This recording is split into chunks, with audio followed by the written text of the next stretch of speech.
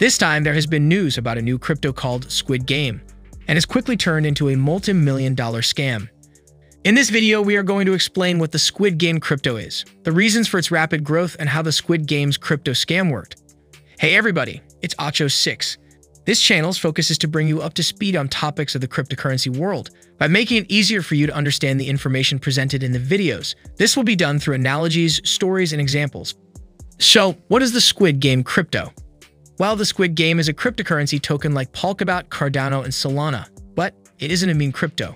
Inspired by the hugely popular South Korean Netflix series Squid Game.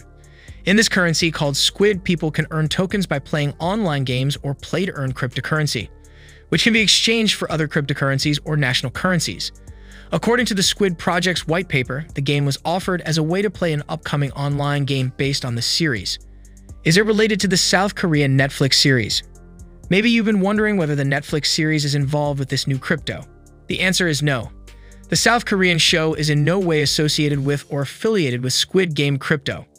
The crypto shows that the Netflix series has a big influence in the coin even if it isn't involved. The price of Squid Game coin surged in the last few days after its launch in late October. According to CoinMarketCap data, the token skyrocketed in price from about 0.01 on October 26 to around $38 on October 31st. The price then rose to about $90 early November 1st, then spiked to above $2,861 before falling to 0.0034. All this in the same day, Monday, November 1st. The scam. It seems that the cryptocurrency inspired by the Netflix series has turned out to be a scam, with its developers reportedly making off with more than $3 million. This is a gigantic red flag. The big problem here is people buying into something too quickly that they don't understand. People only saw that it was connected to Squid Game. I watched that show, and I think it's cool. They said it was a play to get tokens. It's a hot new concept where you play a game, and the more you play, the more tokens you earn. Unfortunately, there was no real game to play except that you put in your money and buy the token. Then you can't withdraw your money. Recent reports from buyers show they cannot sell their Squid tokens and cash out their gains in the only available venue, PancakeSwap. The website of the project before disappearing was full of typos, which was another red flag. The Twitter account for the project, which had gained 57,000 followers, did not allow replies and then was blocked due to unusual activity. There was no information about the founding members, all the founders are not on LinkedIn. There were also fake comments in support of it from Elon Musk. The fact that the chart never fell, instead constantly rising, was another clue.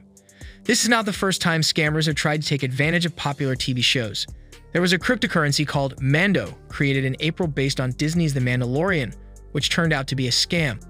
On the Binance Smart Chain, it was an attractive token, but people quickly realized that it was a classic rug pull. We have plenty of rug pulls in our industry. More than 40,000 investors kept their tokens after the crash, but investors appear to have lost all hope of getting their money back. My advice to people would be, maybe you shouldn't invest a lot of money in a token tied to a TV show that didn't exist two weeks ago. In the crypto world before buying, Investors should read document releases, check technical information, and crypto white papers, while understanding the associated risk with crypto projects. Subscribe and turn on notifications so you don't miss more videos helping you invest in crypto, and I'll see you in the next video. Take care.